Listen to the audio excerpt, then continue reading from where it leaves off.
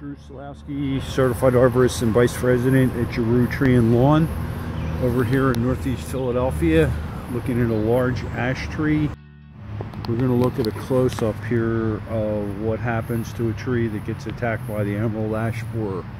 If we look up on the trunk of the tree, we can see these light, like beige uh, spots on the tree. That is where the woodpeckers have been pecking away at the bark. On the ground, there is little pieces of bark on the ground all over the place uh, from the woodpeckers.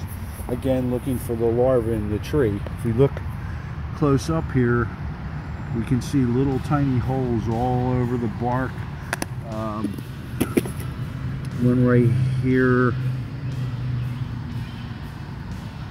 There, it's a perfect D-shaped hole. Look at that real close. Uh, that is an exit hole for the larvae of the emerald ash borer. They're all over the trunk of this tree. I don't have to go very far to find them. Uh, it's a little early in the season to see the adults on the tree.